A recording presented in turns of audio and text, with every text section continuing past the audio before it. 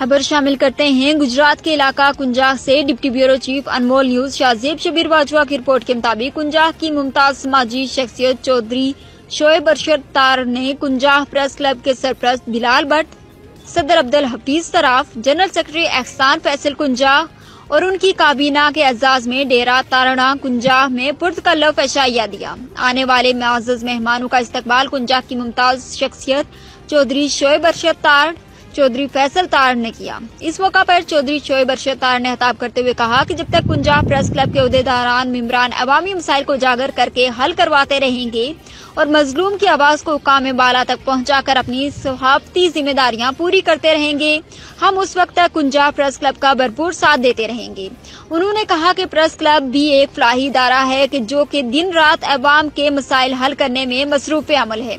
उन्होंने कहा कि मैं उम्मीद करता हूँ कि प्रेस क्लब कुंजा की नई काबीना कुंजा प्रेस क्लब को मजीद मनज़म और फाल करेगी। सदर अब्दुल हफीज सराफ ने अरकान प्रेस क्लब कुंजा की तरफ़ से चौधरी शोएब अरशद ताड़ का शुक्रिया अदा किया और कहा कि जिस तरह कुंजा प्रेस क्लब के शाना बिशाना है इनशाला कुंजा प्रेस क्लब की नई काबीना आपके अहतमाद पर पूरा उतरेगी।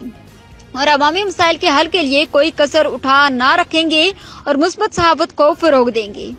और जद सहाफत करने वालों की हौसला शिकनी करेंगे, तकरीब में सरप्रस्त बिलाल भट्ट, सदर press club Kunjah Abdul Hafeez Sarraf, general secretary Ehsan Faisal Kunjahi, senior नायब सदर मियाँ वहीद सलीम, नायब इश्तियाक अहमद आफ्ताब, न्याज वली खान, शकील मुमताज़, इमरान केसर, शबीर भट्ट समेत अवाम की कसर तादाद भी मौजूद थी।